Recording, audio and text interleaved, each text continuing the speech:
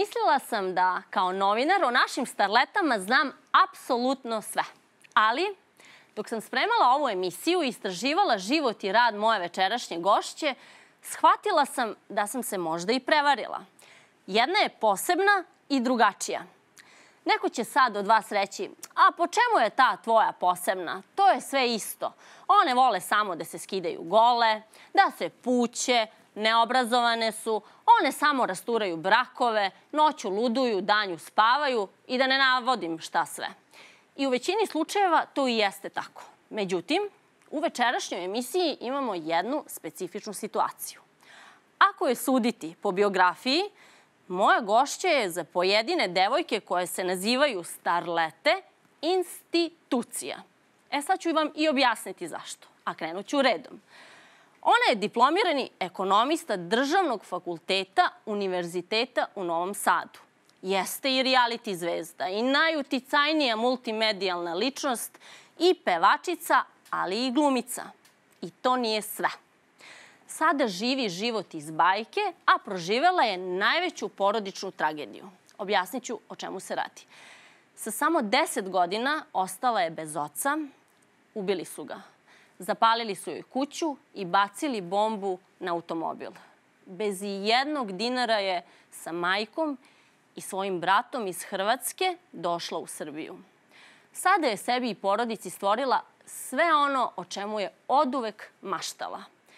E sad, koje je njeno pravo zanimanje i sa kojim moćnim muškarcima je zaista bila u vezi, šta joj je doneo reality život – pa i to što voli da se fotografiše u tim provokativnim izdanjima i zašto pojedinci o njoj imaju predrasude i još mnogo, mnogo toga otkriće nam Stanija Dobrojević. Stanija, dobroveče i dobro mi došla. Dobroveče, Ljiljana. Bolje te našla i hvala za ovu prelepu najavu. Stvarno? Jeste emotivna ovaj deo detinstvo, ali hvala. E pa dobro, ajde onda odmah da krenemo od toga. Da li postoji nešto što se o tebi ne zna? Naravno da postoji. E, šta je to? Uglavnom u medijima je 90% laži. Obično to svi kažu. Eto. Ali jeste tako. Ja sam zaista ovaj, jako tolerantna kad su u pitanju novinski natpisi i razno razne izmišljotine. To prodaje novinu, donosi klikove na portalima. Ja sam okej okay sa tim. Sem baš kad se ode u neku krajnost da moram da podnesem tužbu i sve sam dobila na sudu. Ali o mom privatnom životu nekako to čuvam za sebe i smatram da ljudi kad bi me u potpunosti znali, možda bi me mnogo više poštovali. Zavolali, misliš? Ne. Nego? E, možda bi me više voleli, poštovali, ali ne bi bila više toliko interesantna, a ni vama medijima. A, znači ti voliš da intrigiraš? Pa imam to u sebi. Imala sam još naglašenije to ovaj, dok sam bila mlađa, sad već to nekako s godinama jenjava. E pa to, da kažem, ti si na neki način naša prva starleta. Među Tako je. Uh, tim starletama si to pokrenula u ovoj zemlji, još pre 12 godina, ako Tako se je. ne varam. I tada si uh, zamišljala da, uh, da kažem, te starlete, odnosno vaše to zanimanje, ti ćeš sve da mi objasniš šta to zaista podrazumeva, šta to znači, ali si zamišljala ako se ne varam, da, to, da to ide u drugačijem smeru, ali otišlo je to do toga da su to devojke sumnjivog morala, da se te devojke bave prostitucijom. Da su e, hapšene. Da su hapšene. Zaista je bilo I zaista svega smo imali. I sve te devojke su, dakle, nose epitet starlete. A i ti si među njima, a kao što sam rekla, završila si državni fakultet. Tako je. Pre 12 godina, e, kada sam dospela onako u žižu javnosti i medije, e, svi su ono stanija. Imala sam već i 50.000 pratilaca na Facebooku zbog mojih fotografija. E, Tad smo uveli to starleta u dogovoru sa Nikolom Rumenićem, tako smo krenuli. I ja sam imala viziju na ugledu Kim Kardashian, ona je tamo najpoznatija starleta u Americi, zna se da tamo živimo od 2006. godine. Mi smo želeli da nekako tu priču napravimo da ja budem srpska Kim Kardashian, odnosno da uvedemo to starleta, gde sam ja imala viziju da uvek sam se provokativno fotografisala, ali sam tad završavala fakultet, uvek sam volela da treniram, jedem zdravo, vodim računa o izgledu, oblačenju i nekako videla sam da je to jako interesantno i devojkama i ženama na društvenim mrežama, tad je Facebook bio. A, I nekako žela sam da propagiram tu priču, da utičem na devojke da se obraz, obrazuju, da budu finansijski nezavisne, onako nekako jake žene. Uvek sam imala nekako tu viziju i misiju ovaj, kad sam krenula u sve to. Međutim, danas imamo hordu starleta.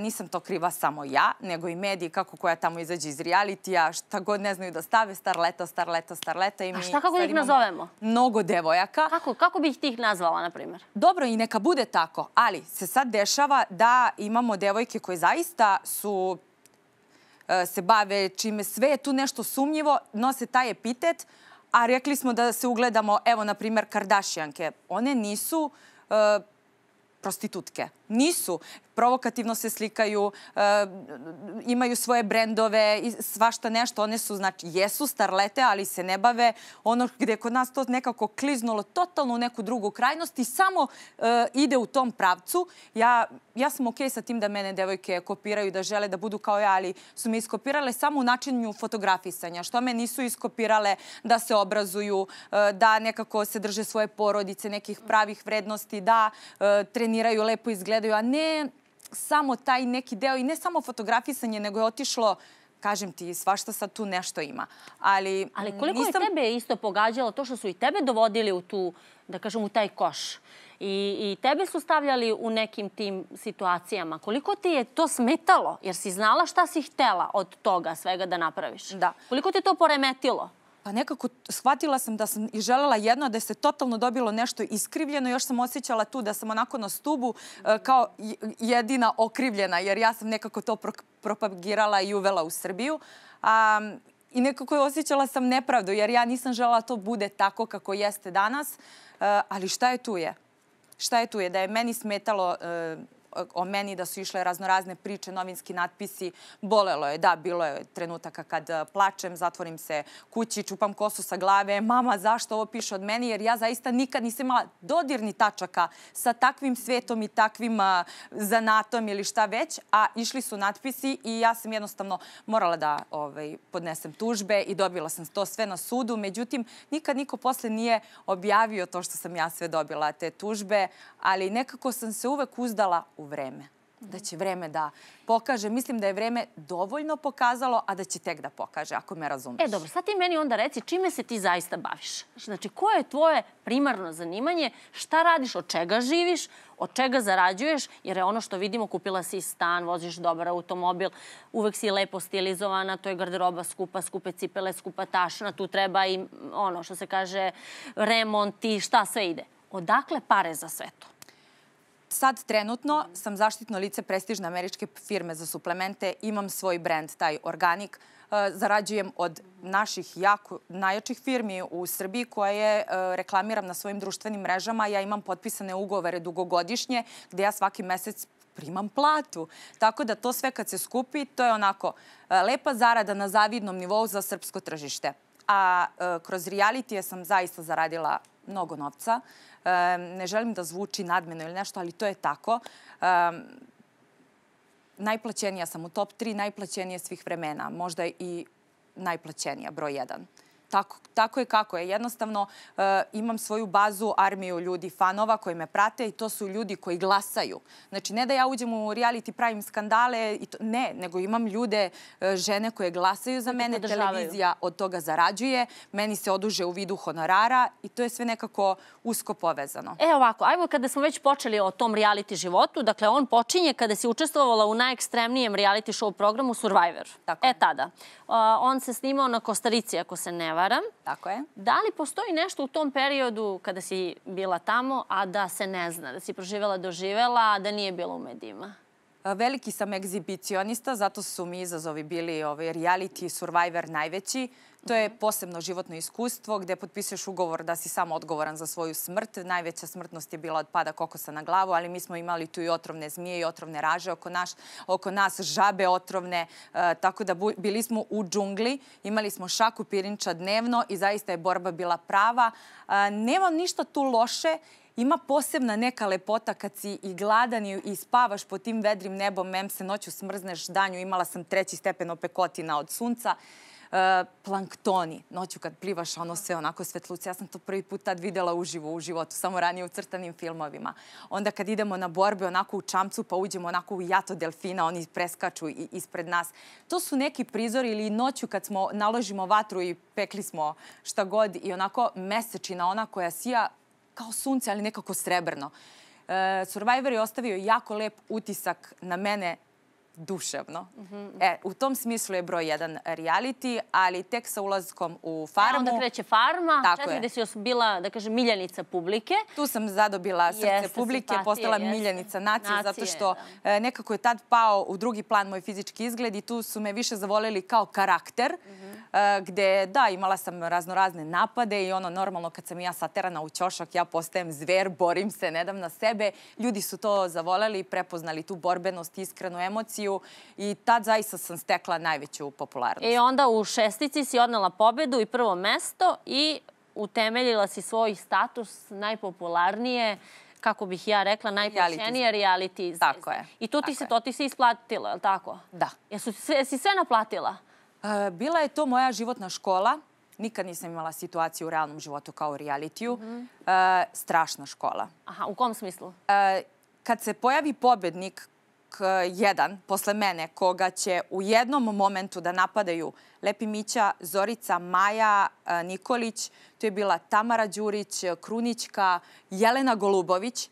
Kad budete dobili jedinku da, da ti ljudi zajedno 24 sata od jutra do mraka svih tih meseci boravka tamo vas napadaju i vi izađete kao pobednik, neka mi se onda taj pobednik javi. Mm -hmm. Ove, bila je to strašna škola, veliko životno iskustvo, ali sama sam to birala. E sad, ajmo da krenemo u ovu najnoviju sezonu zadruge. Može. Kako ti sad sve to izgleda? A zadruga je sve nešto ipak drugačije, drugačije. mnogo lakše i lepše, Aha. ali opet, naravno, prate se, to je psihološka igra gde se prate međuljudski odnosi. Šta će tebi reality show program? Samo zbog novca i, ili zašto? A, u početku mi je bio izazov. Drugo, žela sam da budem popularna, imala sam to u sebi ne znam zašto, rođena valjda sa tim. Kasnije da novac, honorar, ali ono što je ključno u, kod mojih učešća u realitijama, radiš u životu na sebi i tamo se baciš među one ljude da sam sebe istestiraš i ispitaš. Evo, sada gledamo, ušao ti je bivši dečko. -hmm. Hajde prvo sad da, ras, da raščivijamo to. E, zašto ste vas dvoje raskinuli? Šta se tu desilo? Šta je bilo? Zašto si ga ostavila? Ti si njega ostavila? Tako je. Marka, tako? E, svi me sad pitaju kao, šta si radila šta prava istina? tri e. godine? Da. Uh, ja sam nekako u toj vezi, zaista smo imali lepu ljubav, lepo smo funkcionisali i bila je to lepa veza. To mogu ovako generalno da kažem, kad se zaokruži tri godine, mi smo živeli zajedno. To nije mala stvar. Uh, Međutim, On je živeo kod tebe, ali tako? Tako je. Sve vreme ja sam nekako radila na sebi, na svojoj karijeri, zaradi, idi za američka firma, o, moj brend, gradi stan. Ja sam nekako stalno bila u tom nekom fokusu i on je bio nekako tu uz mene i mislila sam nema veze što ne radi, ajde trgnuće se. Međutim, posle tri godine suma sumare, znaš, on je uglavnom, problem je bio, mislim, možda će to mnogim ljudima da zvuči smešno, jer e, imaju se razni problemi u, u vezama da neko nekog istuče, prevari. Mene nerviralo što ništa nije radio i što je sedeo po ceo dan i pikao telefon. A. I onda sam ja u početku bila, pa dobro, ljubavi, hoćeš da kreneš nešto da radiš. Šta bi ti voleo? Za čega imaš strast? Ajde da vidim šta god. Samo za reality. Onda je rekao fitness. Ja kažem, dobro, ajde, sredila sam da završi najprestižnije ove kurseve za nutricionistu, fitness trenera priznate u Americi, ako odemo tamo da živimo. Znači, ja sam ta stalno gradila, gradila. Kažem, hoćeš da ti otvorim teretanu, ali, znaš, da ja samo da vidim strast, da on nešto hoće. Ništa. I jednostavno, Otišla sam u Ameriku da razmislim o svemu. Ta dva meseca tamo ja sam stalno sa njim ljubavi, pa jesi završio to. Šta želiš, hoćeš krenuti da, i mhm, dalje mhm. ništa. Ja sam samo rekla ovaj, da, da je to je to i da je najbolje da se raziđemo u nadi da će on možda da ga raskid trgne da kaže aha, vidi, ostavili me, ajde sad ću da se pokrenem da radim. Ništa. I evo, njegov izbor je na kraju bio zadruga, tako da Pa to je najlakše. Mislim da sam donela pravu odluku. Znači, nije, niko nije, nisu bile neke strašne stvari. Razišli smo se na lep način, bez ikakvih teških reči. Jednostavno, te tri godine bilo je lepo dok je došlo do nekog momenta da ja shvatim da ja više sa njim dalje nemam šta. I nekako zbog tog njegovog ponašanja i što nije on dao od sebe ništa jel da se pokrenuo, ja sam izgubila osjećaj, nisam ga više žela kao muškarca. Nekako počela sam da ga volim ko brata. I tako je i ostalo. I evo, sad je on sa, u nekoj šemi sa tvojom dobrom drugaricom Majom Marinković. Jeste, to jeste tačno da su oni uplovili u vezu, ali ne bih ja rekla da je to dobra drugarica. Ja bih je ipak nazvala poznanicom, zato što mi smo se za ove četiri godine samo jednom videle u realnom svetu gde sam ja nju pripremala za prošlu sezonu zadruge. Mislila sam da je potencijal da će se pokazati, međutim nije ništa poslušala, nema veze. Tako Šta da je više je izvikano to. E, Prošlu sezonu da uđe da pokaže, zaista imala mnogo dobre predispozicije da se lepo pokaže, međutim ona je ovaj, diskvalifikovala Uopšte se. te starlete ne slušaju. Ne, a nije, nije jedina. Jedno i drugar Brale, ni on me nije poslušao, tako da ne znam što me pitaju za savete kad neće da me slušaju.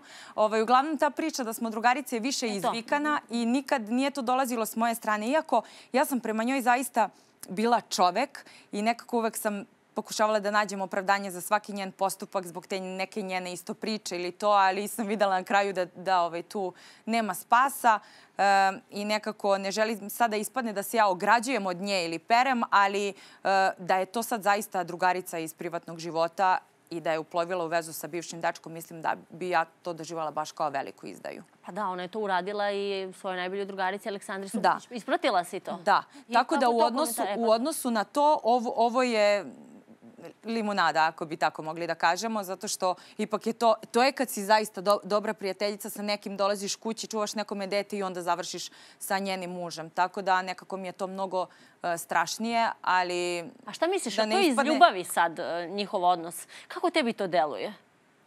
Aha, ovaj odnos, ne znam, ja bih pustila vreme da se to onako e, malo e, razvije i da se pokažu neke stvari. Još uvek je rano da bi to Ali komentarisala. ti si opasna. Šta misliš ti, da li te je Marko preboleo? Ja mislim da nije.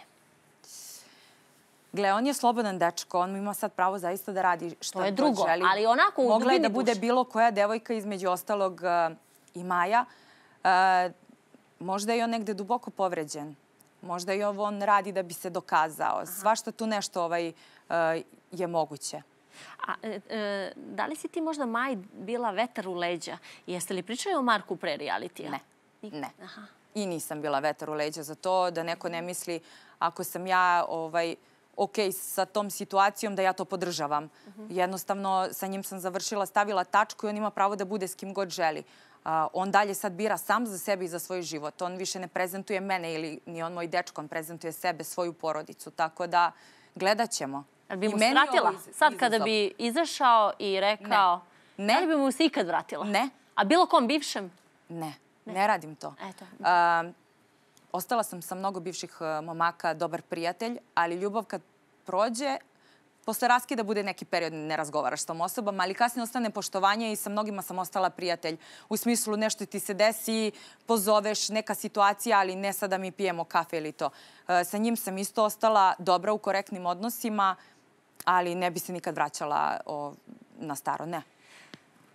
Ti i Kristijan Golubović, to je bila priča koja je punila novinske stupce u, na portalima, svuda je bila centralna tema.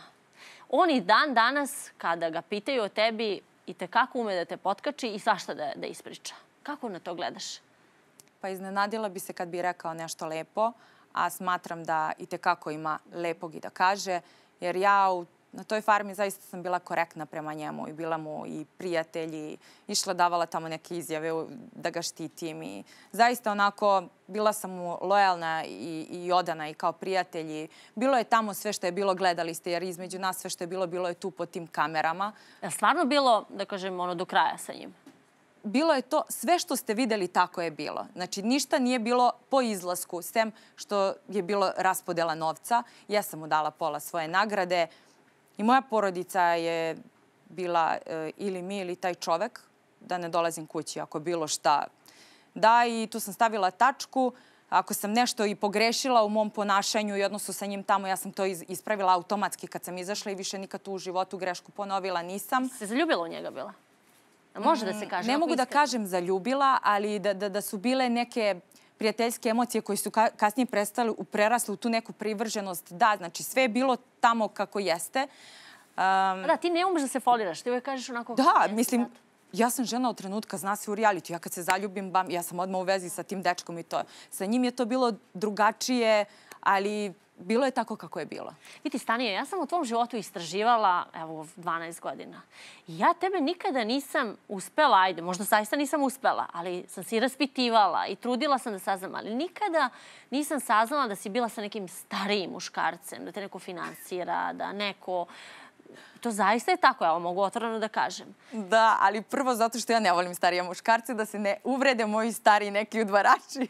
ali zaista, ovaj, ja sam ali te, da budem te i sa mlađim muškarcem. E, a hoću ti kažem, ali stalno su mi govorili ona je sa nekim starijim tamo u Americi, ona ima starijeg. Ne. Evo sada, ja zaista nisam to uspela da saznam.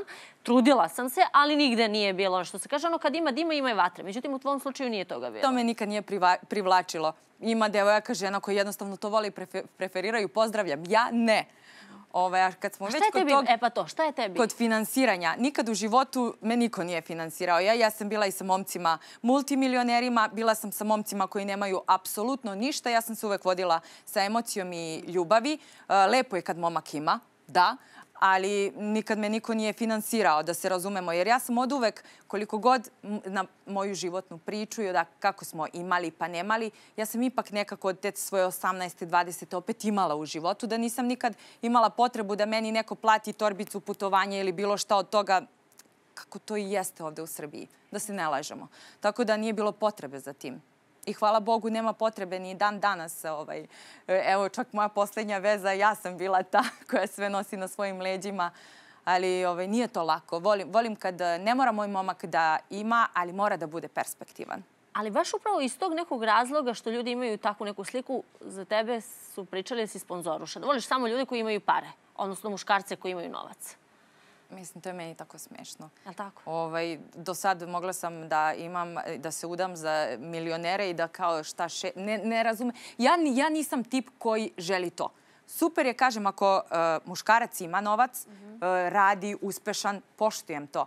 Ali ne da bih, jer ja imam u životu sve makar što se materijalnog tiče, imam sve i, i tokom tog uh, od 20. kad sam želela i da putujem i da kupujem garderobu, imala sam. Uvek sam imala. Tako da nije bilo potrebe da nekog gledam da bih izvukla tako nešto od njega. Ja znam da postoje devojke i žene koje to rade. Ja ne znam kako je to i šta je to, jer meni bi bilo to poniženje da ja moram od nekog da čekam bilo šta da mi pokloni, kupi, da.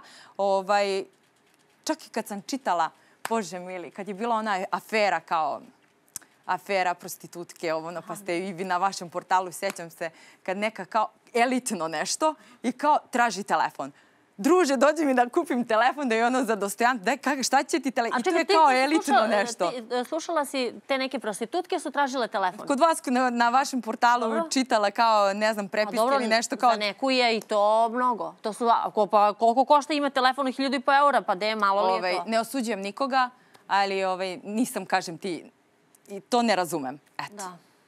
Ali ne osuđujem. E, ali da se vratimo mi na, na Kristijana za pa ćemo da nastavimo. Za, zašto da završim priču sa njim, kako tebi sad on izgleda? Uh, on je govorio, evo našla sam to, da si ti za hoklicu, samo da nađem, da. Uh, znači, uh, on je imao opaske na tvoje, te da si za hoklicu, te da si bila sa Hugh Hefnerom, da bi bila u tom magazinu njegovom, Playboy. A dobro, kažem Kako on to zna? Iznenadila bi se kad bi rekao nešto lepo ili pozitivno. Navikla sam već na takve njegove izjave. Ove, što se tiče Hugh Hefnera, ja kad sam proglašena za najlepšu Playboy golf devojku i bila pozvana u Hollywood na to finalno ja, kako takmičenje. Kako je došlo do toga? bila sam, ja sam, moj prvi posao e, je bilo u Atlantic City u Krupije, moj studentski posao. Znači, otišli smo na studentsku razmenu, radimo tamo četiri meseca. Moj taj posao je bilo, uh, kazino mi je platio kurs da završim, da budem blackjack dealer. I za studenta prva moja plata 1000 dolara nedeljno. Jao, pa ja sam tad bila na sedmom nebu, ja sam tad, ne, znam. I uh, sećam se, tu je bio jedan moj drug uh, iz uh, Makedonije, već sam se uveliko slikala za Facebook, imala te pratioce, kaže on, e, ovo je skroz u tvom fazonu, održava se takmičenje za izbor za Playboy devojke. Kao, idi, idi. Ja otišla, a tamo sve Amerikanke, plavuše, velike grudi. Ja tad nisam imala grudi, bila je ravna kao daskica, crna kosa. Ja pobedim. Tako, bez ičega? Bez ičega. pobedila sam, ne znam kako, ne, izglasali su me, ja sam pobedila. I jedno pola godine, šest meseci, ništa se nije dešavalo. Znam da mi je bilo obećano da idem na finalno takmičenje i samo jednog dana mi je stigla avio karta, Aha. 5000 dolara e, kao za nagradu i e, datum kad se održava to finalno takmičenje. E sad, slušaj, u tom momentu Kao što su ovde e, koliko toliko ispraćeni Kardashiani koji dalje idu u Americi, tad je išao Hugh Hefner reality show sa njegove tri zečice. I to je tad bilo to jako... Plavi, plavuše, tako je. Da, da, to je bilo jako popularno i gledano. Kao, evo sad da me pozovu da idem kod Kardashianki kući. E, tako je bilo da sam pozvana tada da idem u tu vilu Hugh Hefnera, finalno takmičenje. I zaista sećam se ono kad smo ulazili kad se otvarala uh, kapija te vile, ono kao ti ulaziš, znaš sve ono što si nekad gledao na TV-u i bilo ti nedostižno, kao ti si tu, dešava se. I ovaj, mislim i ta priča, on je tad već bio stari deka, bolestan, nosio je onu svoju kapicu, izašao jedan dan sa te, te tri zečice, pozdravio i to je bio dan mog 25. rođendana. Imala sam ono happy birthday i znam da je prišao da mi čestita rođendan. Uh, ja sam njemu tu poklonila moju naslovnu CKM iz Srbije, sva bitna i ponosna i tu je nastala ta slika gde sam bila prva do njega. I to je bio trenutak kad, kad su naši mediji prvi put se zainteresovali prva Srpkinja kod Hugh Hefnera na takmičenju i tako. Kakav je on? Kako ti deluje? Kako ti je delovao tada? Uh, on, Kako si utisak imala? živa legenda koja jeste napravio taj uh, Playboy magazin. Od uh, prva naslovnica mu je bila Marilyn Monroe, pa jeste. pa do Kim Kardashian, sve su se fotografisale. Uh, on je tad bio deka koji je više furao, valjda taj uh, imidž već je bio stari, bolestan, mada je imao pored sebe tu od 24 godine mu je bila zečica koja mu je bila žena poslednja. Venčali su se ali on je bio bolešljiv, onako je izašao, pozdravio, polako se kreto, on je tu sedeo u žiriju i one oko njega. Znaš, ono, devojke su vrištale kad je on izašao i, i svi su čekali fotografiju sa njim, ali to je to. Eto vidiš. Da. Nijedna naša starleta to nije doživjela. Pa nije. nije, ali drago mi je to što je to sve tad bilo tako. Ti si htjela i da otvoriš školu za starlete, e, se ne, ako se ne varam. Da. Koje bi mogle da budu podlaznice od ovih današnjih naših starleta? Koje bi primila u svoju školu? Ne bih nikog imenovala. E, mislim da i, ima tu nekih devojaka koje su i, i kulturnije e, i, i Ajde izvoj neke, da znamo... Neću, neću imenovati apsolutno nikoga da nekog drugog ne bi izazvala, uvredila ili to, ali sećam se tad, žela sam da napravim kao školu za starlete, da te devojčice koje sam ja uzor da idu, da ja njih učim kao kako da se oblače, šta, kako da treniraju, šta da jedu. Ove, ovaj, međutim, dan danas nekako ja sve to propagiram kroz moje društvene mreže. Da. da. Jel ima šta, jel ti pišu devojčice, jel ti traže savete, šta te pitaju? A, to je neverovatno zato što 70% mojih pratilaca su muškarci, a samo 30% žene. Ali žene su nekako mnogo jače zato što evo napravili smo humanitarnu akciju e, gde e, rasprodajem svu garderobu po simboličnim cenama 30 džakova iz zadruge. Ja sam to najavila još pre godinu, godinu i po dana. One su željno to iščekivale.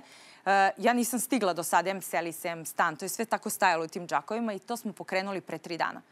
Mi smo u roku 24 sata imali 5000 žena. Zamislite da ovde mi sad imamo 5000 žena koje su negde moje visine i kilaže da mogu uopšte da kupe nešto što sam ja nosila. Tako da eh, žene su mi nešto jače i moćnije, ta neka ljubav od njih, nego svi ti moji muškarci, hvala njima, ovaj, koji mi tamo pišu, lepa si, radio biti ovo, no, kao šta sa njima. I stvarno, šta A sa ženama, one, one zaista žele ono, kao kako treniraš, šta jedeš, kako da smršam, da li imaš ovu krpicu da mi pošalješ. Mislim, em prate reality, starije gospođe. Evo ti primer starije gospođe.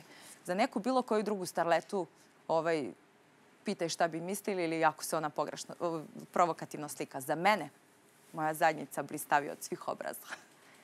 Ne to da, kažu. Neko ko me dirne mrežama, to je rat. Ne daju starije gospođe na mene, nema šanse.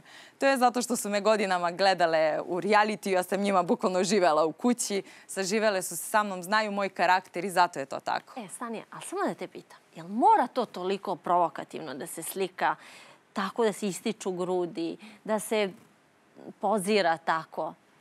Zašto? Pa sad je to već meni postao posao, imidž gde se od mene to i očekuje da bi nastavila neki taj imidž na Instagramu i ja sad to već radim onako bukvalno rutinski, to je to. Ali u početku, sad ću ti reći odakle je to krenulo. Ti kad bio stid što se slikaš gola? Ne. Mislim, nije gola, ono, nikad nisi bila gola, ako se ne varam. Ja sam u Jesi Playboyu. gola, yes. u Playboyu, tako je. Ali ovako na, na Instagramu da si skroz gola bila. Ali ne baš sad da se sve vidi. Da. Ne, ne. Nije. O, ne, niti se nekad postidela, da kažeš još stid me, ne. gleda me brat, gleda me stric, ujak, ovaj onaj. Ti nekad bilo onako? Ne. Ne. Nekako sam se tu jako otrgla i bila toliko svoja uh, i birala sama svesno taj put. Jesam povredila ovaj, meni drage ljude, njima je mnogo teže bilo da se nose sa svim tim, dok sam ja to nekako sa strastveno radila, jer sad ću ti reći, nisam ja, to, ja sam to tek krenula sa 25, a do 25. meni se stalno skuplja, skupljao taj neki bunt i inat. Inat uh, zbog mog detinstva šta mi se desilo. I o tome ćemo. Uh, to je posebno nešto te emocije. Onda sam posle toga imala momka koji mi sve branio. Mama mi u životu sve branila i, i to se nešto u meni skupljalo. Onda taj lažni moral prokužene nacije. Ja sam sa tim slikama eksplodirala. Jesi. I ja sam I kako, ja kad uslikam, oni kad se tamo nerviraju, novine pišu, idu, ja onda još više, još jače. Kako su me više negativno komentarisali, ja sam još jače.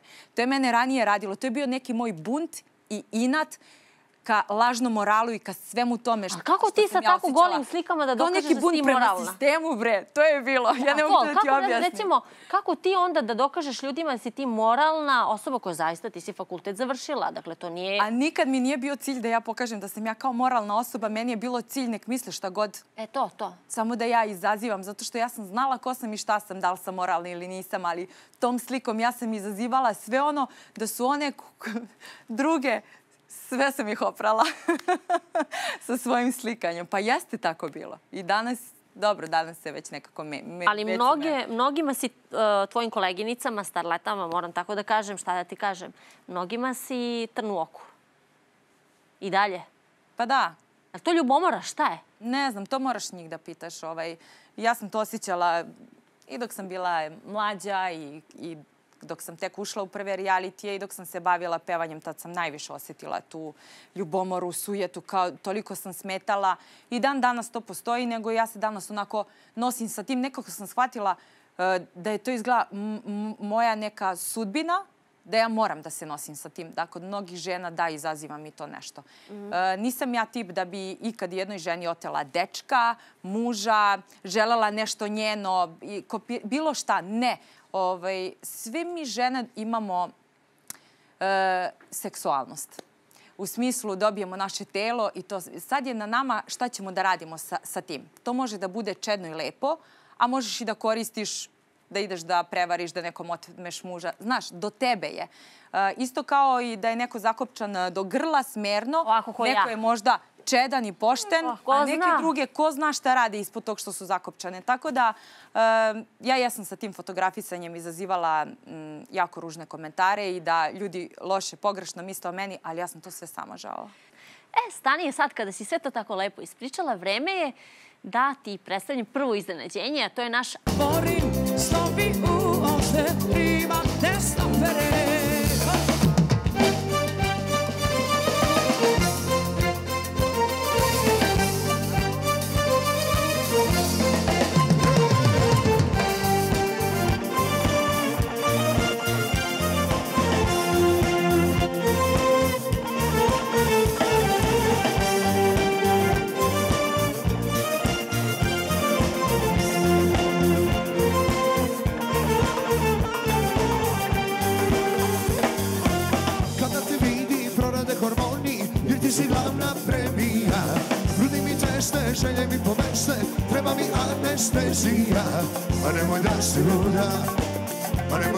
stid.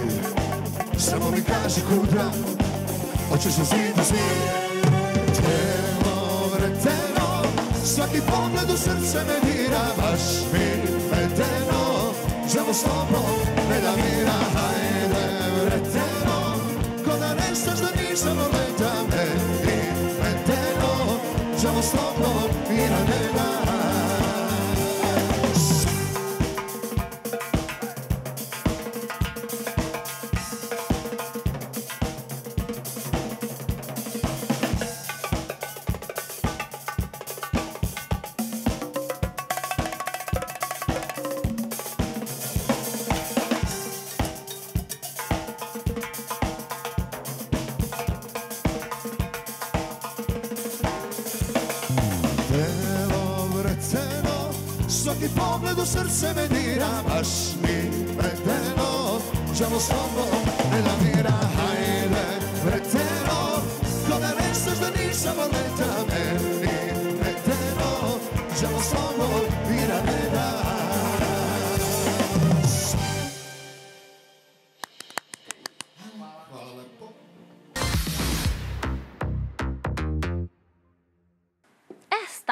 idemo dalje. Malo smo se izigrale, ovako isčeskale u tom nekoj pauzi muzičkoj uz naš Andu Band, a sad idemo o tvom detinstvu. To je naša rubrika.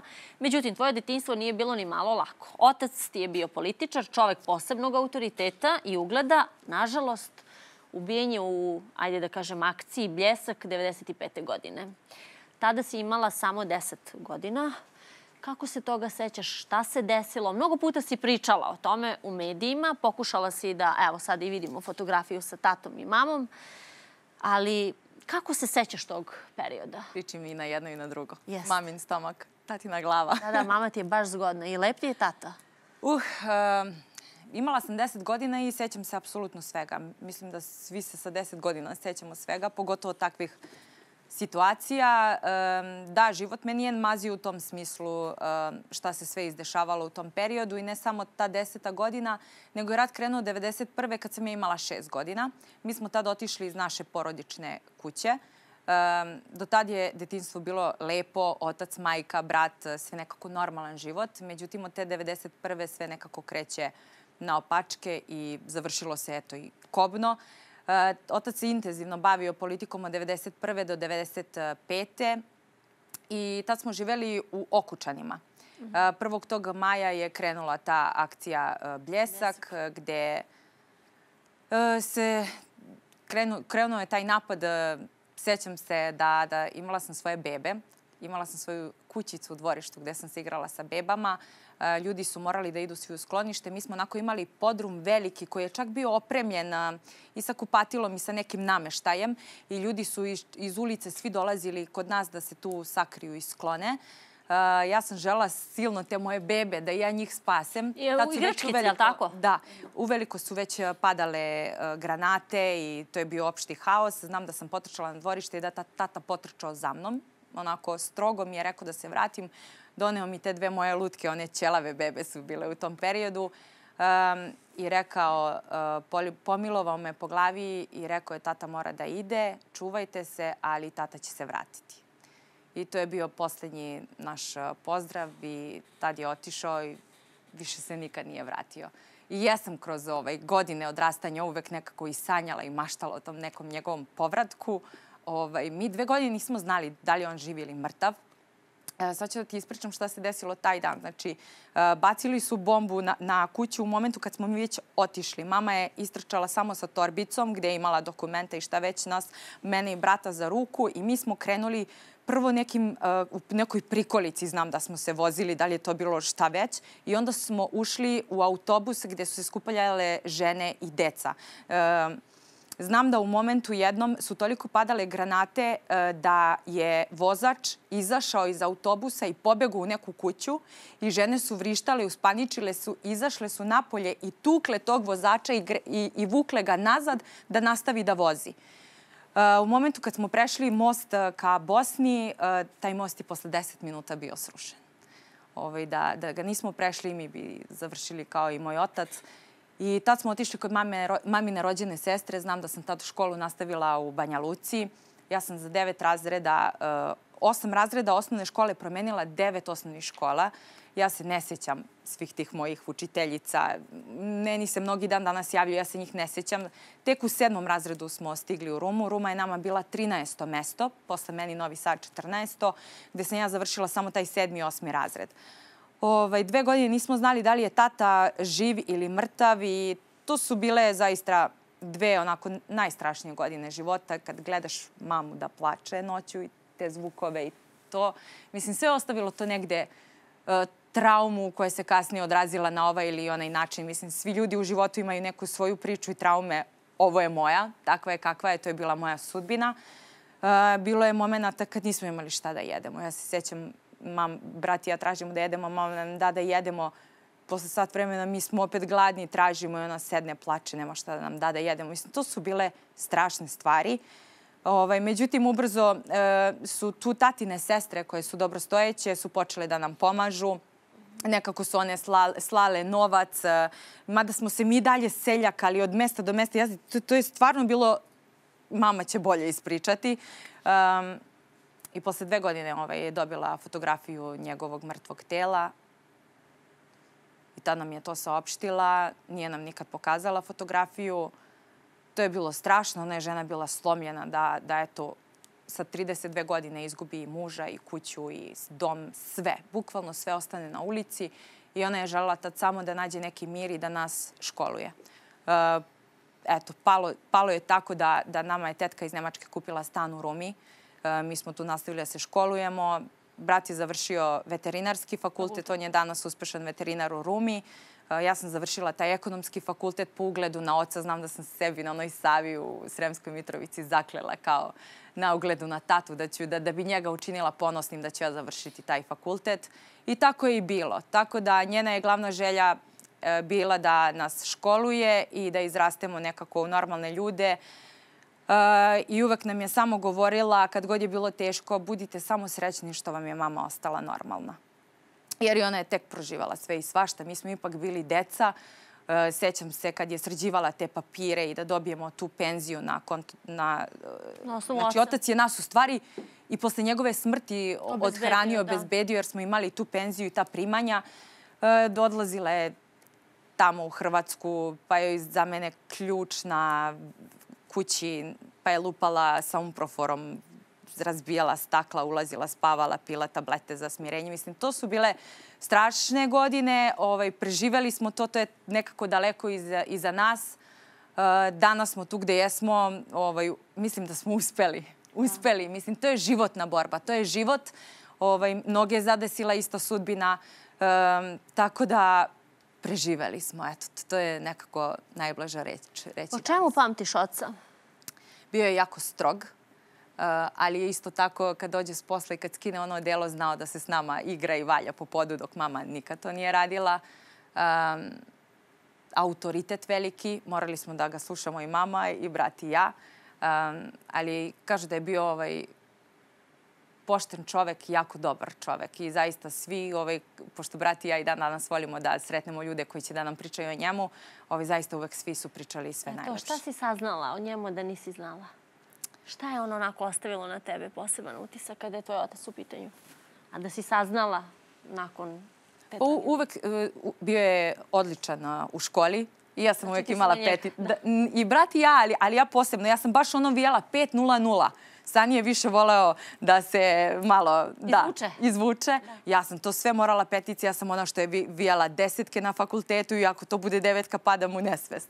Ovaj, ali eto, on, on znam da je bio jako dobar u školi. E, voleli su ga, bio je društven, uglavnom su pričali lepe stvari. Imam ja pismo jedno njegovo iz 1991. godine koje je on poslao mami, ja to i dan danas čuvam svaki put kad plaćem.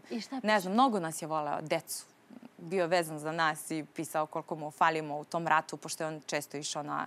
Mislim, i taj period odrastanja od 91. do od 95. dok je on još bio živ, ja se sećam, mi smo živeli u Šumetlici. Evo, ako neko iz izgugla, ako neko zna gde je to, Šumetlica, to je u šumi.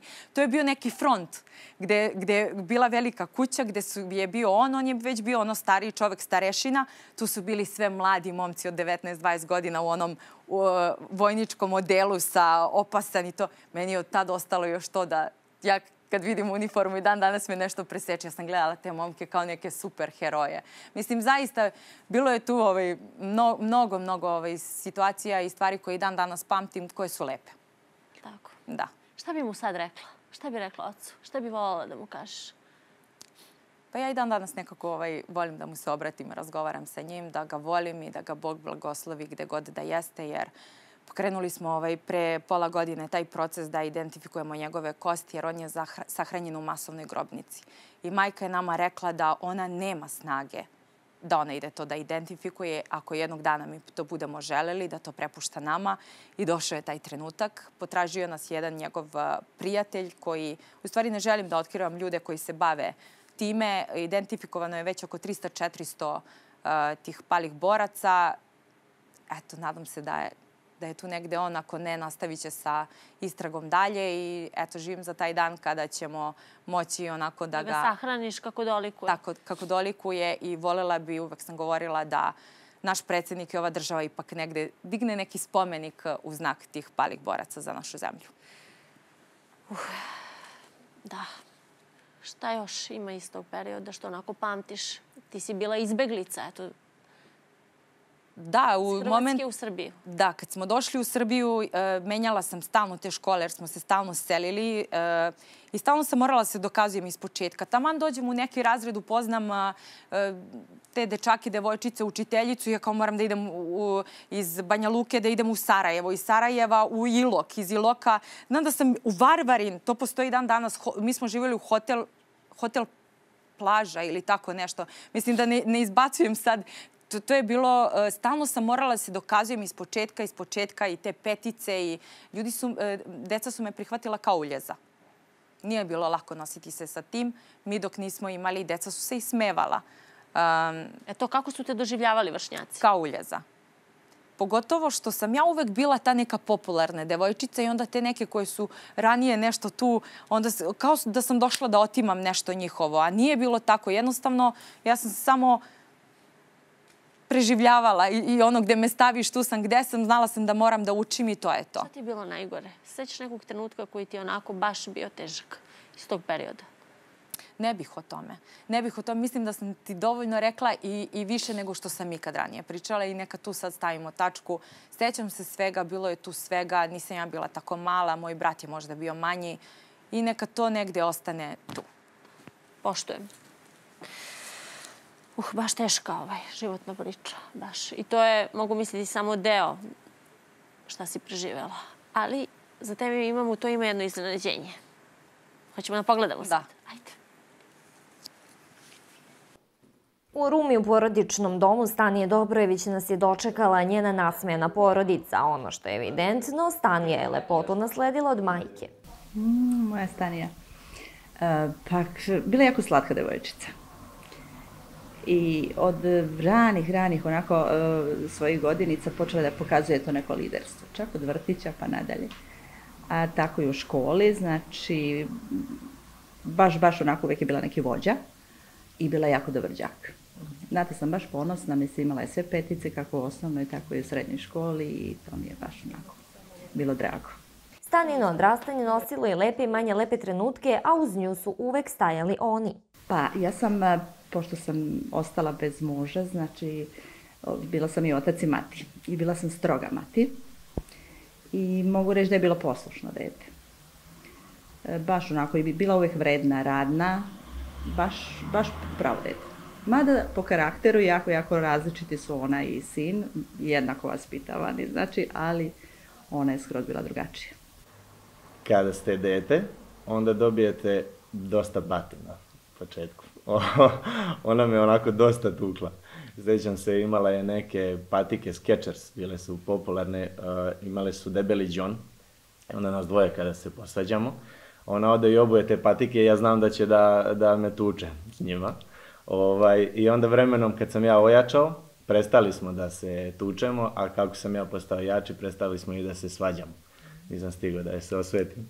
Ali a, lepo je biti njen brat, pomagala im je na, na mnoge načine. Baš u tom uzrastu a, pomagala mi je oko odgovaranja na poruke nekim devojkama, dok ja nisam to onako malo savladao. I generalno, uvek je bila uz mene šta god da je u pitanju. Ja sam onako mlađi, A, verujem da bi ona volela da sam bio stariji, da ja nju mogu da štitim, ali baš je ona meni dosta pomagala. Nikad je neću zaboraviti mnoge stvari. Sećam se kad sam došao u Ameriku kod nje sa, sa društvom. Mi smo bili na programu, išli smo tamo da radimo i na kraju smo došli kod nje u mali stan gde nas je ona ugostila. Spavala je na podu, dok smo mi spavali u njenom krevetu. Ujutro nas je budila sa kajganom, znači to je onako Uh, jako je lepo biti njen brat. Kao i svaka porodica, i ova se teško navikla na teret slave njihove mezimice. Ružni natpisi i tekstovi koji su išli e, po novinama, e, baš me to bolelo. Ona se nosila dobro sa tim, ali mi kao porodica, mene najviše, baš me to bolelo. I teško sam se nosila sa tim. Pa i dan danas. Prosto ne mogu to da prevaziđem, jer mi, zato što znam svoje dete, znači ne zaslužuje ni ona, a ponajmanje mi kao porodica. Ja znam kakva je Stanija privatno. Uh, žena visokih moralnih prednosti, poštena, radi, stvara, obrazovana, trenira, to vam je moja sestra. I volim da je povedem svuda sa sobom u moje društvo, jer ljudi kada je upoznaju, zagotive je, jer vide kakva je ona u stvari. Kako reaguju kada se prošetaš sa njom ljudi? Jesu oduševljeni onako prosto? Jel možete se odbraniti od ljudi? Kako kad, zavisi kakva je situacija, ali mnogo je komentarišu, mnogo je gledaju, a, čak i žene, gde sam ja ono u fazonu, ej, pa ja sam tu.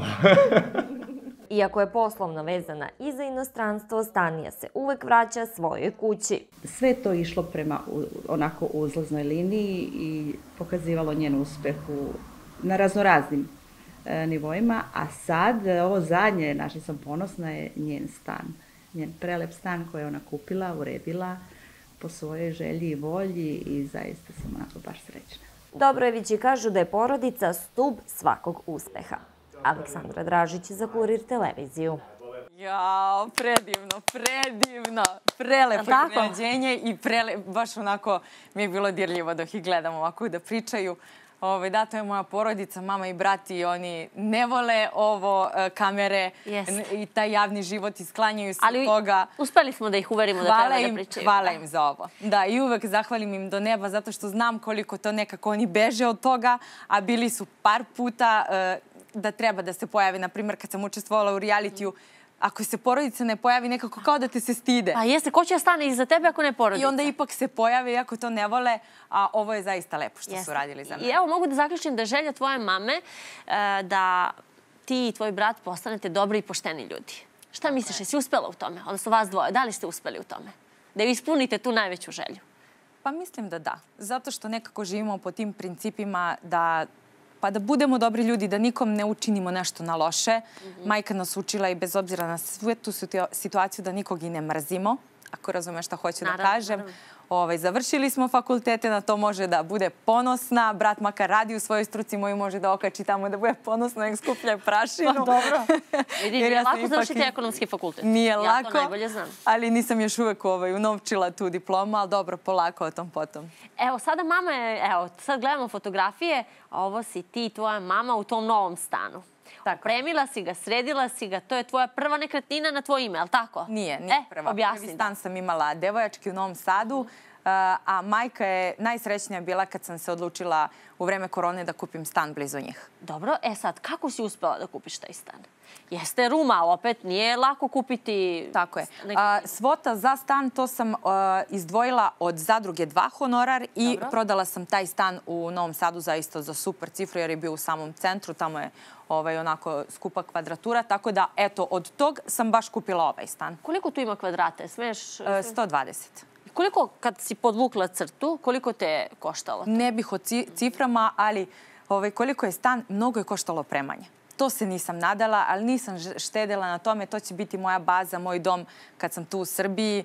A i kad nisam, mama će da dolazi tu i ona, ona obožava Obožava, taj stan. uživa. Uživa, da. Pošto je to ka jezeru ovaj, gde mi uglavnom šetamo ili ja treniram ovaj, eh, kad tamo, onda ona uvek svrati na kafu, pa ako nisam tamo, ona ima pristup, tako da. A gde živiš u Americi? Jel živiš u iznajmljenom stanu, hotelu? U kući. U kući. U kući od a ko to- 2015. E to, ko to plaća tu kuću? Ja to otplaćujem, ali nisam otplatila čitavu kuću. Stani, stani, e, samo da se razumemo. Ti otplaćuje, je to tvoje, će to biti tvoja kuća ili... Pa jednog dana kad se sve otplati. Znate, tako je u? Americi. Kako, e, to. E, kuće su preskupe, znači od neka, od 300.000, ona najminimalnija, pa ne znam, po pola miliona, samo u, a da ne pričam dalje, one po par miliona ili koliko već. Ovaj, Ti tu tamo na kredit ili kako? Pa tako svi tamo i uzimaju. Spustiš određenu cifru i kasnije nastavljaš da plaćaš kao kiriju mesečno i onda godinama to možeš da otplatiš. A čekaj, si ti američki državljan, imaš pravo na to. E, Da, nemam pasoš, imam već drugi put onu green card na 10 godina i onda to obnavljam zato što nikako više da odem da apliciram ovaj, za to, a i trebalo bi malo i češ, više da sam a, u. Americi, da zbog poslednje veze ja sam sve više vremena ovde nekako se bazirala i posle korone ali dobro, doći će red i na to. Tako da da, tamo živim u New Jerseyu u kući, a firma je u Majamiju. I onda... I onda letim. Letiš tamo? Da, odem tamo, potpišem ugovore, napravim slike, snimke, sve to što treba i onda sam uglavnom u New Jersey. Kako si zaradila prvih 100.000 dolara? u kazinu kao blackjack dealer. Zato što taj prvi posao, Ja ne kažem znam ti, šta ja radim ovde.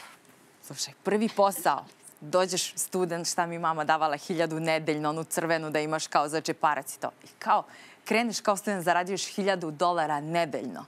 I onda posle 3-4 meseca, pošto ni ne trošiš, mi smo samo radili, radili. Jednostavno, tamo si na razmeni, kad imaš day off, odeš na plažu, e, opereš veš i nastavljaš da radiš, kao u mašini. I posle par meseci pogledaš koliko imaš na računu, ono kao, uuu, ja sam tebi, sebi sad tad rekla, ja neću stati dok ne zaradim prvi 100.000. Zato što kad sam radila ono prve takse, pa kad vidiš zaradiš kao 45-50.000 na godišnjem nivou i to, Znaš ti, to je za studenta bilo meni ogromna cifra. Meni je to bilo, na vrhu sveta sam. I tako sam ostala da radim tri i po godine dok nisam došla do te cifre i tad sam došla u Srbiju, kupila prvi stan, auto i najviše para sam trošila na putovanje. Znači, ja... Na robu? Ne, na putovanja. A jeste, ti si uglavnom bila gola? Pa, e, ali Šta će ti ga... Reci koja, ne, reci koja je ironija. Ja toliko para trošim na garderobu. Evo ove žene što kupuju sad ovu garderobu, tek sad vide da imam garderobu, jer ja uglavnom dan na slikama, to je pa neka pa no, veš kupaći. Mislim, Ove, malo da se našalim, Najviše para sam trošila na putovanje, to ne želim, to i, i dalje radim i opet bi to radila zato što uh, svi ti... Uh, uh, ne znam, New York, Miami, Bahami, sve to košta. Pa Nisu jeftina e, ta putovanja. E, pa to su se svi pitali odakle pare za ta putovanja. Znaš, ti danas i ovde za 10 mesec danas i na nekoj drugoj egzotičnoj destinaciji. Na to nisam žalila. Iskreno, ja sam mislila da te vodi neki bogati dečko. Ja sam to stvarno mislila. Ali kako kad ja radim i zarađujem toliko? A dobro, ja nisam znala sad tvoju, da kažem, radnu knjižicu. Ali... A, ja sam mislila, pričala o tome, sad mene sad? niko nije hteo da sluša. A, oni su hteli ono kako su oni hteli da kreiraju i nema veze. Uglavnom, kažem, na to sam trošila i na to mi nije žao. I sećam se prvi, ono kao sam kupila kao original, onaj Louis Vuitton gde staviš pasoš, 450 dolara. Ja nisam smela da kažem kući i mojima, jer kad bih rekao moju baki i deki kao daš 450 dolara na takvu stvar. U početku, valjda, kad, kad tek prvi put dođeš do većih para, onda sam ja kupovala sve to.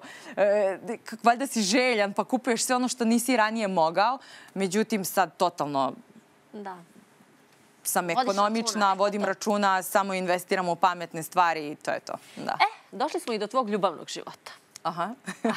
to je najzanimljivije. A kao nije bilo do sad kroz teme. da, da krenemo i to. Evo ovako. U žiži javnosti i medijskog skandala našla si se zbog ljubavne afere sa futbolskim reprezentativcem Gojkom Kačarom kada ste uhvaćeni od paparaca na finalnom teniskom turniru Novaka Đokovića u Splitu 2010. godine. Sećam se, ja pisala o tome. Šta se desilo? Kako ste se zavoleli? Šta je bilo? Ispričat ću onda sad to. Pozdrav za Gojka po... Kačara da se ne ljuti, ali evo ispričat ću Ajmo kako jednom, je bilo. da. Kako je bilo, šta se desilo? E, mi smo se pisali jedno dva meseca preko Facebooka. E, on je tad e, bio na svetskom takmičenju u Africi u futbalu. Ja sam bila u Americi kad smo se spojili u Srbiji, odmah smo uplovili u vezu i posle da li dve nedelje, mesec dana najviše, otišli smo na putovanje u Hrvatsku. Dobro. I super, imam dečka sportistu, brat ono kao moj brat je fan futbala i to sve. Otišli smo u Split i sećam se u hotelu izlazi Brena, Boba, e, Novak, Trojicki, Zimonjić, ne znam više koja je ta ekipa. Cela teniska postava. Tako je. Tamo se igra taj Davis, Davis, Cup. Da. da. I uh, tu je Novak prišao da se javi uh, Kačaru. Ja sam tad prvi put imala priliku da upoznam Novaka u životu. Da, Kačar me predstavio kao njegovu devojku i dao nam je karte da dođemo na finalni meč. Ja Novaka pratim od 2007. godine. Jedina osoba u životu kojoj sam tražila fotografiju, za koju sam trčala da pitam za fotografiju je Novak Đoković. Mi njega u kući, mi njega obožavamo. Moj brat, svaki meč pratimo uvek, molimo se da pobedi, šaljemo pozitivne misli. Ja sad imam priliku da njega vidim uživo. Iako sam ga na US Openu pratila od 2007. kad on još nije bio u samom vrhu. I njegovu, nekad na I njegovu nikad. Nikad. Nikad me nije muvao, nikad ništa ovo što, što su spekuzilisali mediji. E, pa znači, to. ja njega gledam kao uh, Novaka, uh, veliko poštovanje, bukvalno kao fan sam tražila fotografiju i došla do te fotografije. Međutim, Kačar se naljutio. Zbog Novaka, on je toliko, ljubomoran. On je toliko bio izljubomorisao on to veče nije hteo da priča sa mnom, okrenuo mi leđa. Katastrofa. Mi smo na kraju na taj finalni meč otišli onako ne baš u najboljim odnosima, nešto sam ja i kasnila i to. I dešava se da smo mi bili uslikani na tom meču. Ja sam tad bila anonimna devojka. Ja sam bila to izbor uh, u Americi, yes. pobedila, uh, naslov na CKM-a, ali u javnosti, u tim žutim štampanim medijima, ja sam bila anonimna devojka.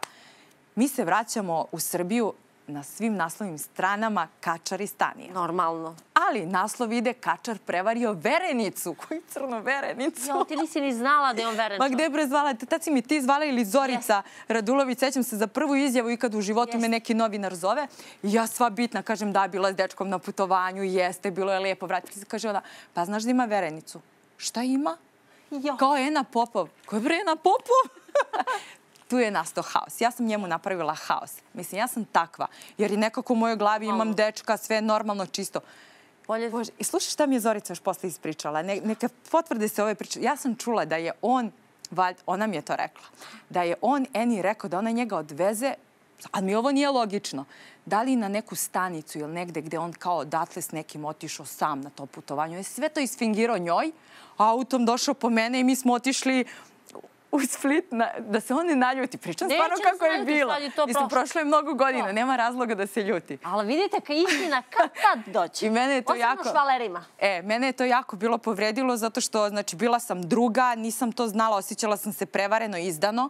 Međutim, ono što je ima najgore u svemu ovome, ide intervju Ene Popov, naslovna strana storija, kao a, ta starleta ili Stanja je izmislila sve. Ona nikad nije ni bila s njim, ona je kao, tamo on je davao žvaku na turniru, ona je kao sve ovo izmislila zbog medijske pažnje. I kao nastavila se ta priča, da su se oni bili pomirili, one nastavili su kao da...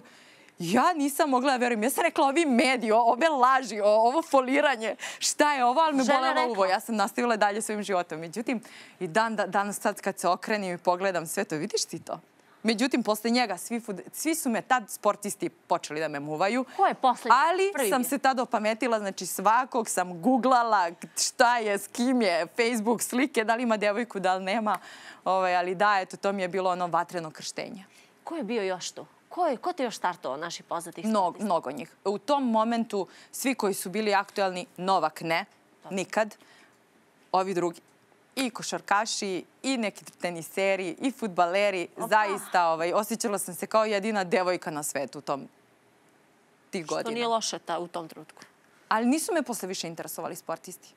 Eto, bila je ta afera sa Kačarom, to je neuspela veza, bilo je tako kako je bilo, ali... to Čekaj, je to. e, bio je Filip sa farme, spekulisalo se za Da, ali Volkova. nisu sportosti, sportisti. Volkov me je muvao, nisam nikad htjela da budem s njim. Aha, nisi ti htela. Ne. A što? Nije mi se dopao i čak posle nešto, nešto je uradio da smo mi se mi posle čak nešto prepucavali i pretili jedno drugom. On meni porukama, ja njemu preko medija. Da. I to je davno prošlo vreme, ali bilo je tako, bilo je nešto, nije nešto bilo baš lepo. Aha, pa onda tu je bio neki šareni. To nije neki, to je moja najveća ljubav. E, dobro. Ona je najfatalnija, fatalna ljubav. Daj, kaži nam ko je beše, zaboravila sam. Ne mogu To je jedini dečko iz Beograda sa, kojima sam, sa kojim sam Je ja on, bila u vezi. Žestok momak, tako nešto. Šest godina smo bili zajedno. Svi misle da je žestok momak zato što je pojava, visok, uh, Istetoviran, da. zaista prelep uh, čime se muškarac. bavi? Ali on, dečko, ima normalan posao i bavi se, drži konje, trkačke konje. On nije iz tog, uh, svi ga povezuju da li on neki kao opasan momak kriminalac, ali nije.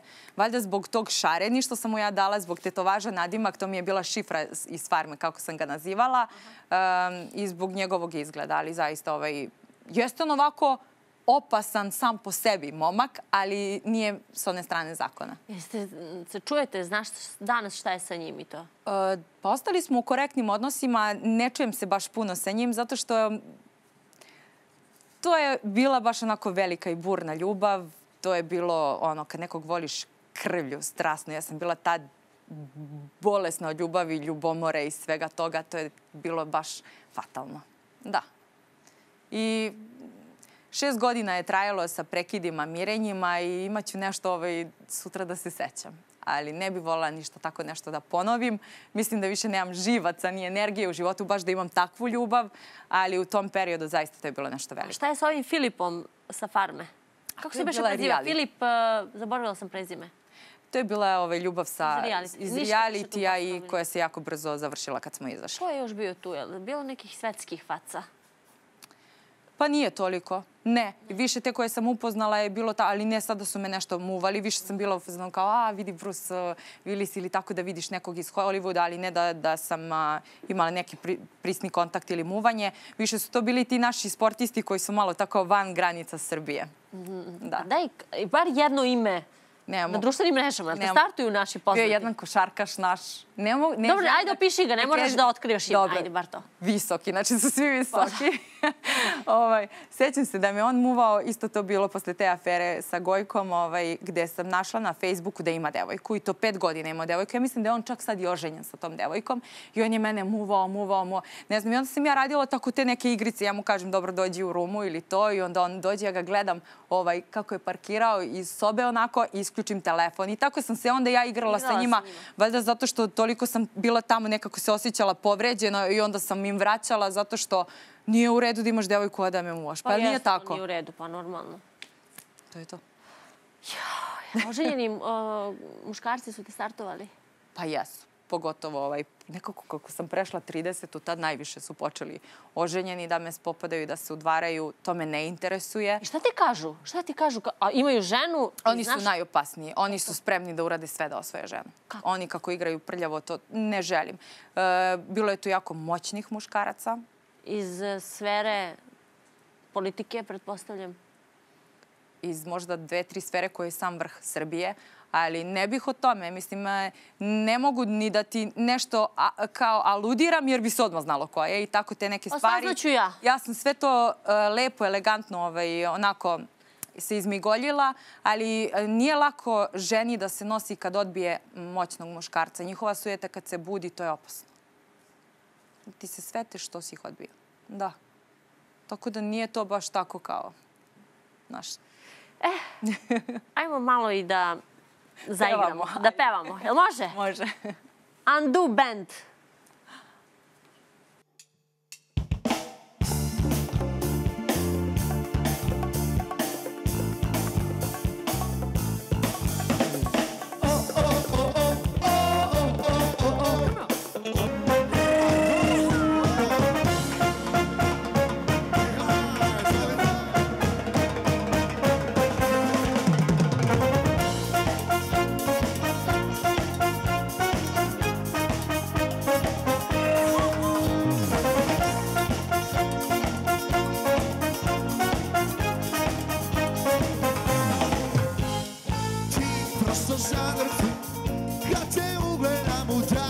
Se pretvori glas I ti sve ti oprosti Što i ne trebam jer čuvam još nešto za nas Jer srce plan Zvijezde su previsoko I više grad Na dugo na široko U, o, o.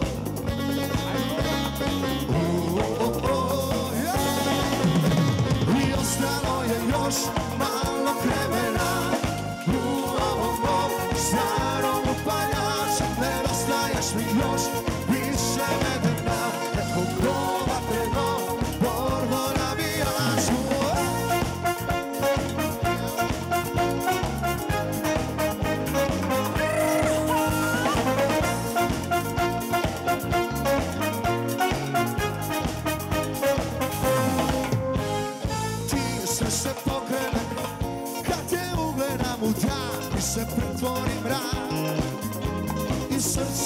spomene Mana ne treba jer ja imam savršen brak Ali uvijek ima nešto što se šuti A to su moji sati i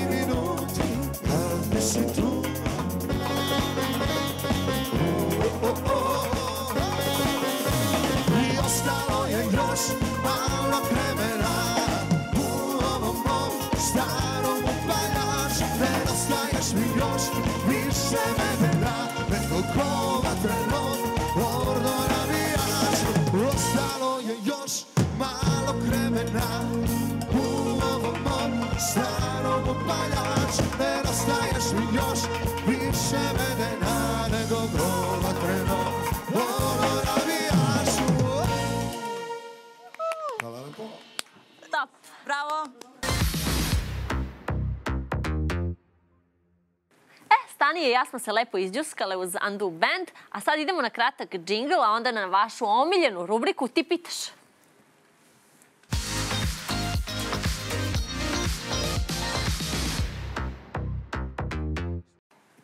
E, Stani ja već komentarišemo ovu rubriku i sada idemo na pitanje gledalaca, a prvo, pitanje je mnogo zanimljivo. Dakle, toliko pitanja stiglo kada si ti u pitanju. Ko najbolje vodi ljubav? Kriminalci, reality učesnici i sportisti. Ja bi ovo kriminalci rekla žestoki momci. Da. Dobro, imala sam samo jednog koji je tako mimo zakon, zakona, ali neka bude to. Žestoki momci. Da. Stvarno. Pa da. Ovo sve drugo, Ništa. Dobro. Šta je tebi važno u tom, da kažem, strast mm. i ljubav, jeste to bitno. I nekako kad je to dvoje spojeno u jedno, to je to. i šta ti je najvažnije? Šta te prvo privuče kod muškarca? Šta gledaš? Šta ti je bitno? Na šta onako si slaba? Pa volela sam te baš ono karakterne muškarce pojave. Evo reći ću ti. A, pre Marka bila sam u dugoj vezi sa čovekom koji je devet godina stariji od mene. On je baš onako naš čovek, ali ozbiljna glava u Evropi. Ne želim da otkrivam ime. Ovaj, I znaju e, mnogi i, Ko je? i sa estrade i, i tvoje kolege ko je, da. Ovaj, e, o njemu se nikad i ne piše u medijima jer je tako, ajde reći, zaštićen, opasan, da. Ovaj, I nekako ta veza, to je taj tip muškarca što ja volim, ali meni u toj vezi bilo baš onako, ne znam, ovaj, sve mi je bilo zabranjeno, sedela sam kući, ja izađem na rođendan, on kao mrš kući, ne znam, hakovo mi bio telefon, Uh, ima neki program, staviš iPhone na iPhone i imao je totalno pristup mom Viberu, Whatsappu. Mislim, ja kad sam u vezi, ja sam stvarno verna kao ker.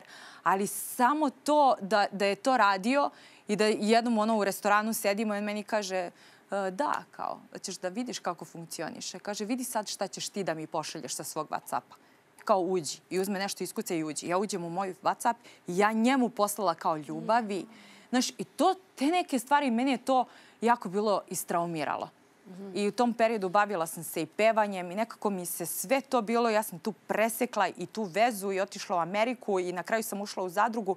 I onda se, posle te veze sam ušla sa Markom u vezu koja je meni bila tako nekako Ladovina. laka i, i lepa u odnosu na to što sam imala. A kad me pitaš koji je moj tip muškarca, ja bi uvek birala tog prethodnog. Tako da, Slaba si na žestoke momke.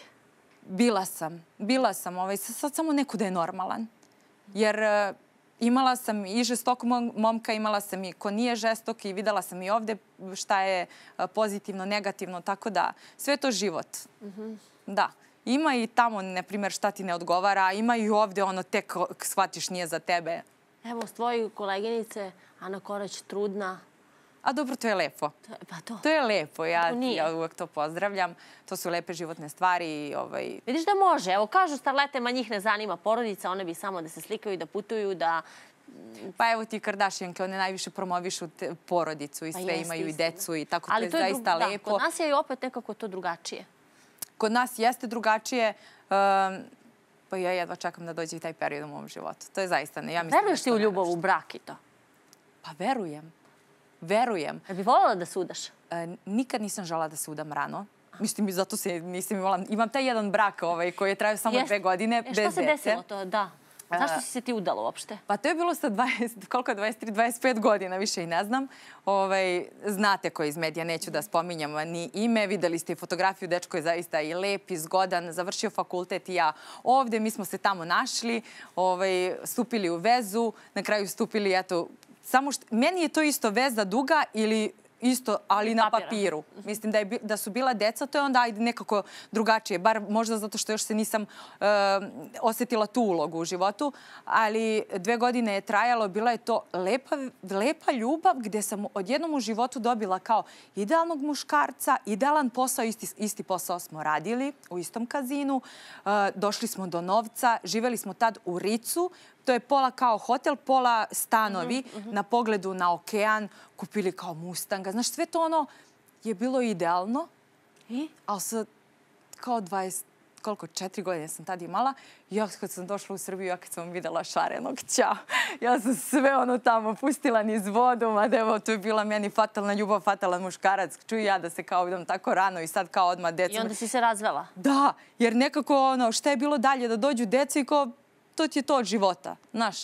Ovaj, mislim da ranije da, da sam postala majka, da to ne bi bilo dobro za moju decu, kao sad, kad dođu, da mogu da im budem apsolutno Posvećena. Tako Da. je. Jel znaš uopšte, ajde da kažem mi žene, naravno da znamo, ali koliko, sa koliko muškaraca si bila? Pa nisam sa puno s obzirom koliko imam godina.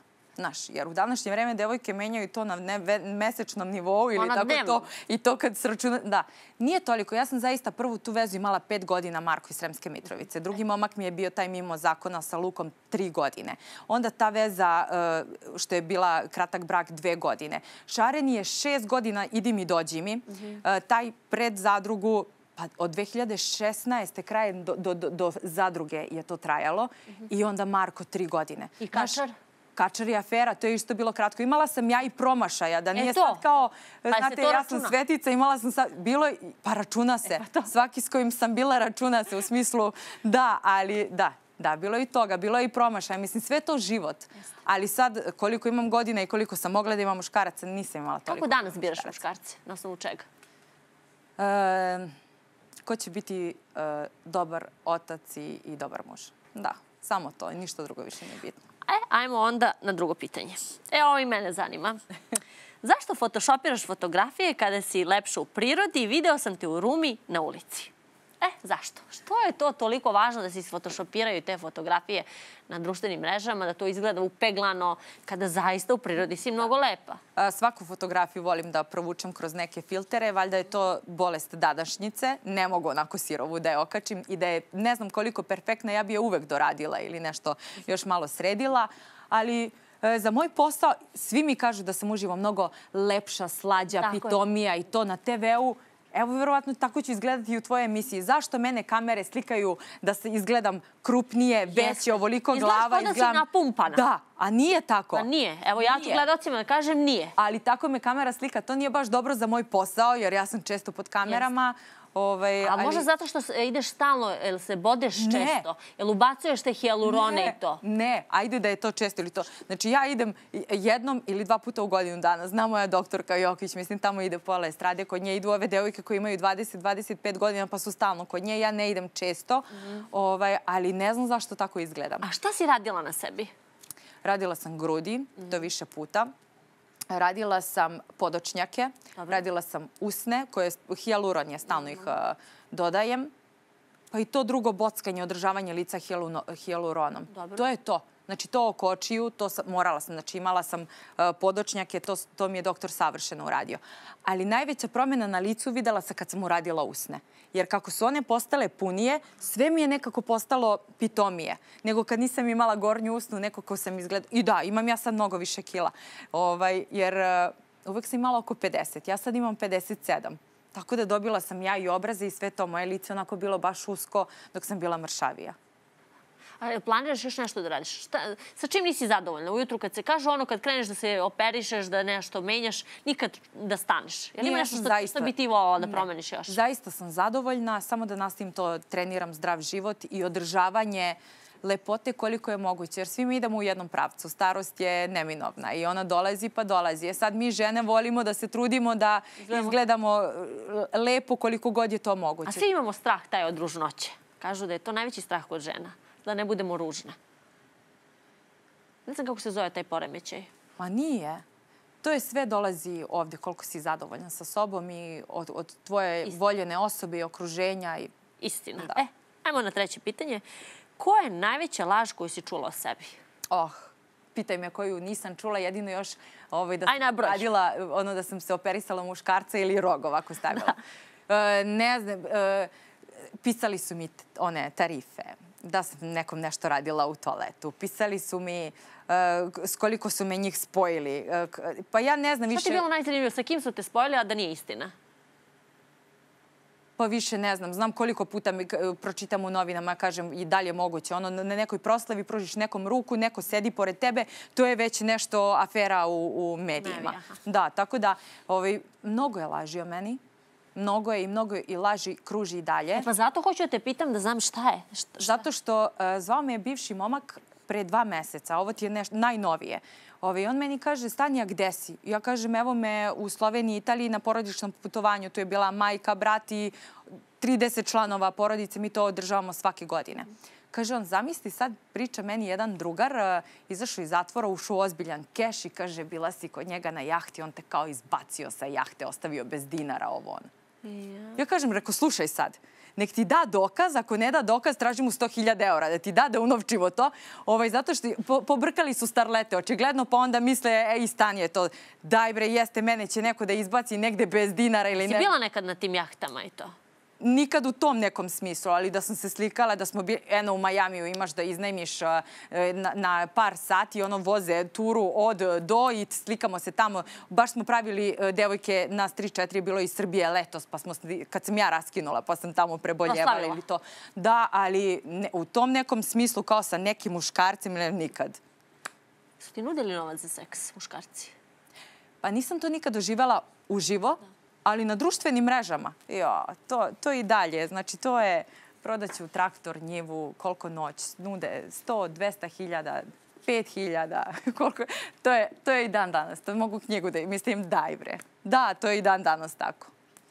Meni je to, meni je to postalo dobar dan. Ja to ovako prelazim. Da, ni ne čitaš. Ali te zaboli to, iskreno. Ne, jednostavno, ne, ne, meni je to postalo valjda normalno. Jer ja to deset godina čitam ili kad ću da izbacim filmić.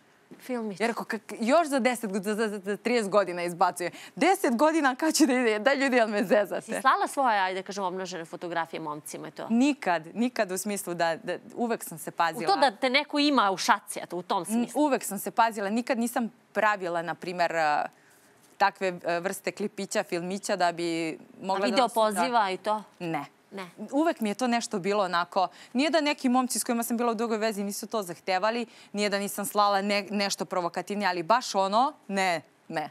E, pa to. E pa dobro. Olakšala si mi da ne moram da istražujem. Ne. Šalim se, naravno. E, ajmo četvrto i poslednje pitanje.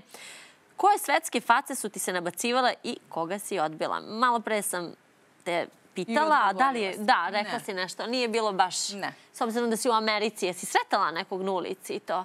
Je bilo da se okrene neko za tobom? Jeste, ali najviši izazov mi je bilo, ne znam, Jennifer Aniston, onda Bruce Willis. Da, uživo sam koliko puta videla Kardashianku koja je bila vikendima kod nas u kazinu gost. Mi platimo njih, ono, dobijali su ozbiljne honorare. Svaki vikend imali smo novu tu javnu, li- pa dedi, ne znam, e, Paris Hilton, sa njom sam izlazila, imam slike izlaska sa njom. To je meni tad bilo sve wow. Meni je to tad bilo Čekaj, družila si se sa Paris Hilton. izlazila s njom kad dođe u Haras kazino, imam i slike iz provoda i sve to, da. Kakva je? Kao, šta ste radile? Đuskale na bini, ona je puštala muziku sa onim, ja sam bila nje, jer meni je samo bilo bitno ono, ne znam, sve mi je bilo to tako zvezdano, e, taj Hollywood i svi oni, jer su mi odavde iz Srbije se činili nedostižni. Tako da ovaj, imala sam prilike dosta njih da vidim uživo, pogotovo u kazinu dok sam tamo radila, ne znam, e, Carmen Electra, pa svašta. Tamo ima, ima to na... Mnogo njih sam videla. Um, u tom periodu sam se možda kao klinka i fascinirala.